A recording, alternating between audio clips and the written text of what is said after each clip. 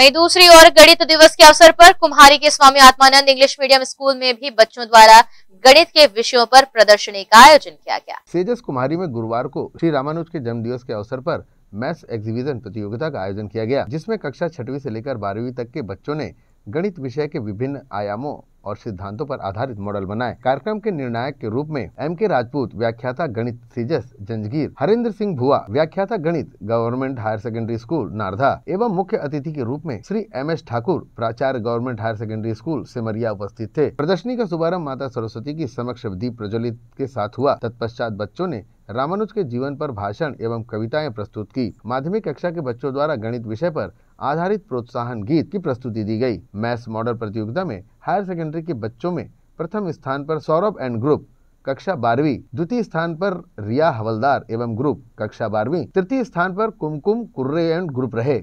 वहीं middle class में प्रथम स्थान पर रिद्धि वाडेकर और भारती, कक्षा छठवीं, द्वितीय स्थान पर लक्की पांडे, कक्षा सातवीं, तृतीय स्थान पर ऋतिक खंडेलवाल, कक्षा आठवीं और ड्राइंग एवं चार्ट पेपर कंपटीशन में प्रथम स्थान पर अनुश्री ग्रुप कक्षा छठवीं, द्वितीय स्थान पर ओम प्रकाश कक्षा आठवीं और तृतीय स्थान पर गौरव देवांगन कक्षा सातवीं रहे। इन सभी बच्चों ने पुरस्कार प्राप्त किया। सभी गणित के मॉडल्स गणित के शिक्षक एवं व्याख्याताओं के प्रोत्साहन एवं मार्गदर्शन पर बनाए गए थे। सभी कार्यक्रम विद्यालय की प्राचार्य, श्रीमती लता रघु कुमार के मार्गदर्शन में संपन्न हुआ। ग्रैंड एशियन न्यूज़ के लिए कुमारी से शैलेंद्र खरे की रिपोर्ट।